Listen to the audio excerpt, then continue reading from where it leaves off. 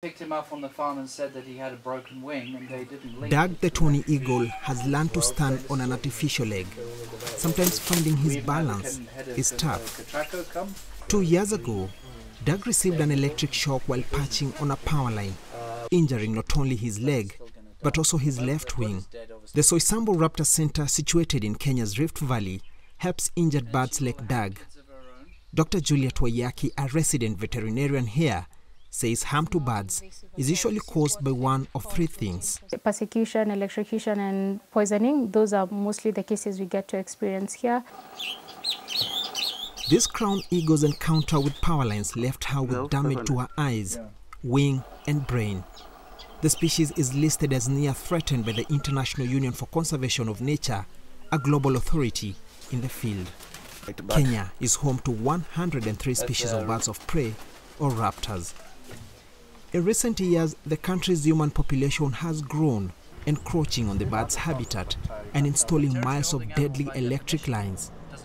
Simon Thomsett is the manager of the Soysambu Raptor Center. The 10 to 32 kV poles being put up nationally, um, the rate that they're putting up is incredibly impressive.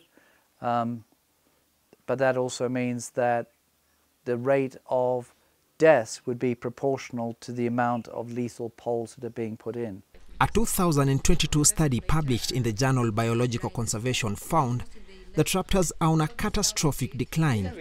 In Kenya, sightings of the once common raptors, such as the augur buzzards, hooded vultures, and the long crested eagles, are down by more than 80% in 40 years.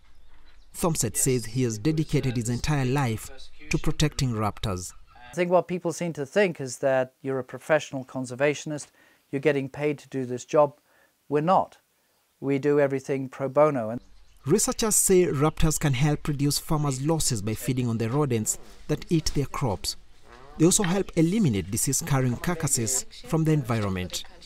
But researchers say the birds' feeding habits can also put them at risk of injury or death if they ingest prey species such as mice or rats that have been poisoned.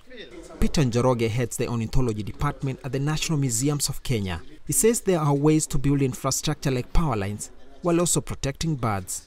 There is bird-friendly infrastructure for transmission that will protect the birds, that will help uh, conserve birds of prey.